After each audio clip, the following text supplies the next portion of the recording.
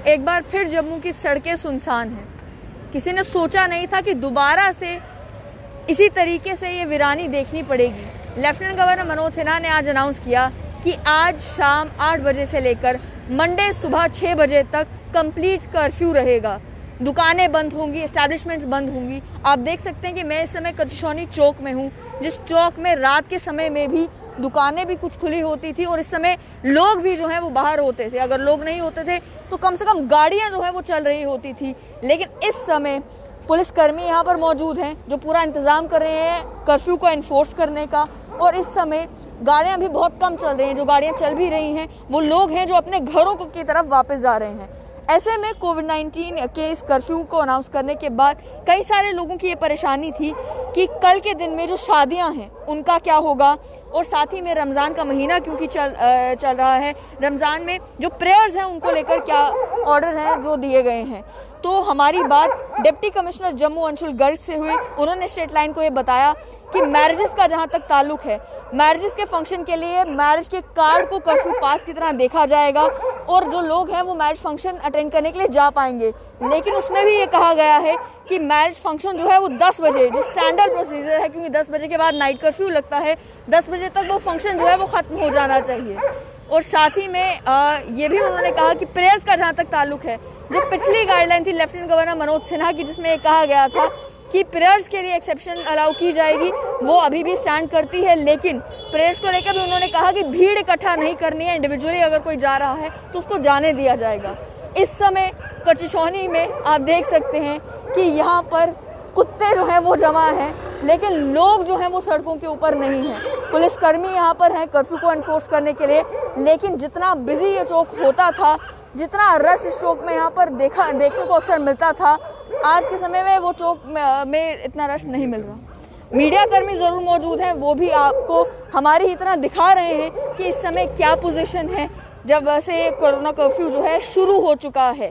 कल पूरा दिन मार्केट बंद रहेगी, कल पूरा दिन सब कुछ बंद रहेगा और कारण सिर्फ़ एक, कारण कोविड 19 की सेकेंड वेव सेकेंड वेव जिसके कारण इन दो दिनों में लगभग छत्तीस मौतें हुई हैं। कोविड की वो सेकेंड वेव जिसके कारण आज भी जम्मू कश्मीर में 2000 से ज़्यादा कोविड 19 के केसेस आए हैं। इसी के चलते जो है, आप देख सकते हैं कि यहाँ पर कर्फ्यू इन्फोर्स कर दिया गया है बैरिकेडिंग इस समय चल रही है। ये इंश्योर करने के लिए कि कोई अगर निकलता है, उस पर बोल दिया जाए कि आप वापस घर की ओर चले जाएँ। ऑटो चालक, ये ऑटो स्टैंड भी यहाँ पर जो है मौजूद है। ऑटो चालक भी जो है, अपने अपने ऑटो छोड़कर यहाँ पर घर जा चुके हैं, क्योंकि उन्हें भी मालूम है कि आठ बजे जो है वो कर्फ्यू लग गया है। जो एक ऑटो कर्मी यहाँ पे है ऑटो चालक यहाँ पर है भी, वो भी वापस घर की ओर जा रहे हैं। और ये आप देख सकते हैं कि सामने से भी जो गाड़ियाँ हैं, उन्हें आने की इजाज़त नहीं है, क्योंकि कर्फ्यू का समय है तो बैरिकेडिंग पूरे तौर पर जो है बैरिकेडिंग यहाँ पर कर दी गई है। और जो पुलिसकर्मी है, वो लोगों को ये समझा रहे हैं कि कर्फ्यू है तो आप प्लीज़ घरों में बैठें, बाहर ना लिखें। हालाँकि जो डिसीज़न लिया गया था, एकदम इंस्टेंट इंस्टेंटली लिया गया था और अनाउंस कर दिया गया था एकदम से कि आज रात से कर्फ्यू लग जा, लग जाएगा। तीन घंटे में ही ये आदेश की इम्प्लीमेंटेशन किस तरीके से ऑन ग्राउंड हो रही है, वो हम आपको दिखा रहे हैं। तीन घंटे लगे लोगों तक इन्फॉर्मेशन पहुँचने में और इन तीन घंटों में अब जो है ये कर्फ्यू का कर्फ्यू शुरू हो चुका है।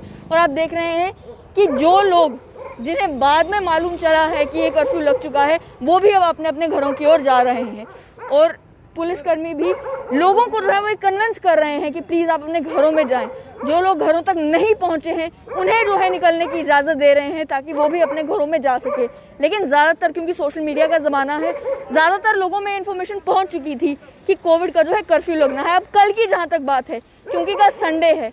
संडे के दिन अक्सर देखने को ये मिलता था कि जम्मू में जो लोग, जिन लोगों की दफ्तर में छुट्टी होती थी, वो आपको बाहर मार्केट्स में मिलते थे। संडे को संडे मार्केट्स अलग अलग बाज़ारों में लगती थी और संडे के दिन बहुत ज़्यादा रश आपको जम्मू के हर एक एरिया में देखने को मिलता था। लेकिन अब एक 34 फोर आवर लॉकडाउन जो अनाउंस किया गया है उसके बाद कल भी इसी तरीके से सड़कों पर आपको सुनसानी देखने को मिलेगी। आप देख रहे हैं कि कुछ गाड़ियाँ अभी भी जो हैं वो चल रही हैं वो वही गाड़ियाँ हैं जो वापस जा रही हैं अपने घर की ओर। और, इस समय अगर कचौनियाँ पाएँगे तो आपको कुत्तों के अलावा यहाँ पर और कोई देखने को नहीं मिलेगा।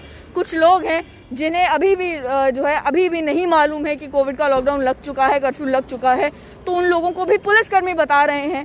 आप देख सकते हैं पुलिसकर्मी यहाँ पर हर एक को समझा रहे हैं कि अब कर्फ्यू लग गया है, कल भी आपको घर बैठना है, अब भी आपको घर बैठना है, और साफ़ तौर पर एक वीरानी जो है, वो इस कचौनी के चौक में देखने को मिल रही है। आज की अगर मैं बात करूँ कोविड नाइन्टीन के कारण आज टू थाउज़ेंड थर्टी केसेस लगभग जो हैं, वो आए हैं, और आज भी मौतें जो हैं कोविड नाइन्टीन के कारण लगभग पंद्रह मौतें जो हैं, वो आज भी कोविड नाइन्टीन के कारण हुई हैं, जिनमें से सात मौतें जम्मू डिवीज़न से हुई हैं और आठ मौतें कश्मीर डिवीज़न से हुई हैं। बिल्कुल, जो मुसाफिर हैं, जिनके घर दूर हैं, आज के दिन क्योंकि इंस्टेंटली ऑर्डर निकाला गया था तो पुलिसकर्मी उन्हें मदद कर रहे हैं, उन्हें जाने दे रहे हैं, ताकि वो अपने घर पहुँच सके।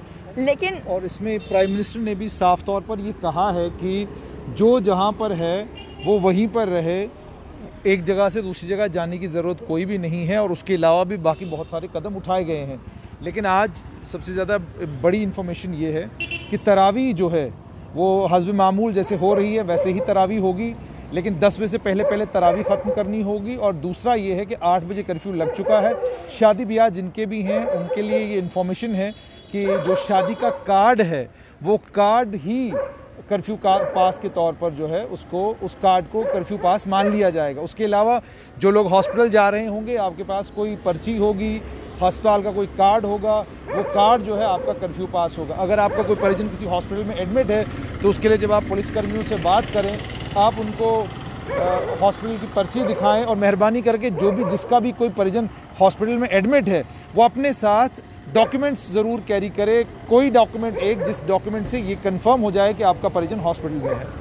साथ ही में आपको ये भी बता दें कि अब मैरिजेस की बात की तो गई है, लेकिन मैरिजेस को अलाउ किया है, लेकिन उसमें भी जो नाइट कर्फ्यू के डायरेक्शन हैं, यानी दस बजे से पहले पहले आपको सभी फ़ंक्शंस को समाप्त करना है। आपको इंश्योर करना है कि दस बजे सभी फ़ंक्शंस खत्म हो जाएँ और आप घर की ओर पहुँच जाएँ। साथ ही में ये जो कर्फ्यू लगाया गया है, कोरोना कर्फ्यू इसमें यह भी कहा गया है कि जो एसेंशियल गुड्स की दुकानें हैं, वो खुली रहेंगी। यानी कि आपको हड़बड़ाहट में स्टॉक इकट्ठा करने की ज़रूरत नहीं है कि मैं सारा कुछ अभी लेके रख लेता हूँ, उसके बाद कुछ नहीं मिलेगा। कल के दिन में भी जो एसेंशियल दुकानें हैं, वो खुली रहेंगी। लेकिन आप जब अपने घर से बाहर निकलेंगे तो आपको पुलिसकर्मी को रीज़न बताना होगा कि आप घर से बाहर क्यों निकले हैं। क्या कोई आप इम्पोर्टेंट सामान लेने के लिए निकले हैं या क्यों आप घर से बाहर निकले हैं? संडे को बहुत सारे लोग हैं जो ऐसे ही एंजॉयमेंट के लिए घर से बाहर निकलते हैं। कई सारे वो भी लोग इस समय भी हैं जो कोविड को कह रहे हैं कि कोविड झूठ है, इस कोविड जो है, बिल्कुल फेक है, ऐसा कुछ भी नहीं है।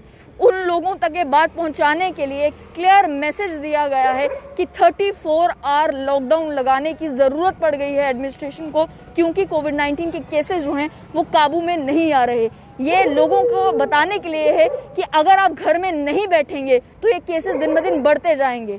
फ़र्स्ट में से वैक्सीनेशन भी शुरू होनी है, लेकिन उससे पहले ये इंश्योर करने के लिए कि जिस तरीके से दिन भर, कभी हज़ार केसेस कभी 1900 केसेस कभी 2000 केसेस दिन में आ रहे हैं, उसे उस पर कंट्रोल पाने के लिए और इंश्योर करने के लिए कि लोग अगर इन्फेक्टेड भी हैं तो वो बाकियों को ना इन्फेक्ट करें। भीड़ में जाकर, बिना मास्क के मास्क को नाक के नीचे रख के वो और लोगों को इन्फेक्ट ना करें। ये कोशिश की गई है एडमिनिस्ट्रेशन के द्वारा। ऑलरेडी सभी एजुकेशनल इंस्टीट्यूशन जम्मू कश्मीर में बंद है। Already school colleges coaching institute से सब बंद है। ऑलरेडी 50 परसेंट दुकानें जो हैं, वो मार्केट्स में खुल रही हैं पूरे जम्मू कश्मीर में। ये सारे कदम पहले ही एडमिनिस्ट्रेशन उठा चुकी है और अब जाकर ये फैसला 34 घंटे के लॉकडाउन का लिया गया है। यही इंश्योर करने के लिए कि किसी ना किसी तरीके से ये जो इन्फेक्शन फैलता ही जा रहा है, इसे रोका जा सके। तो आप लोगों से भी गुजारिश कि ये नज़ारा एक बार देख लें। ये कचरौनी चौक है और आप देख रहे हैं समय बिल्कुल एम है।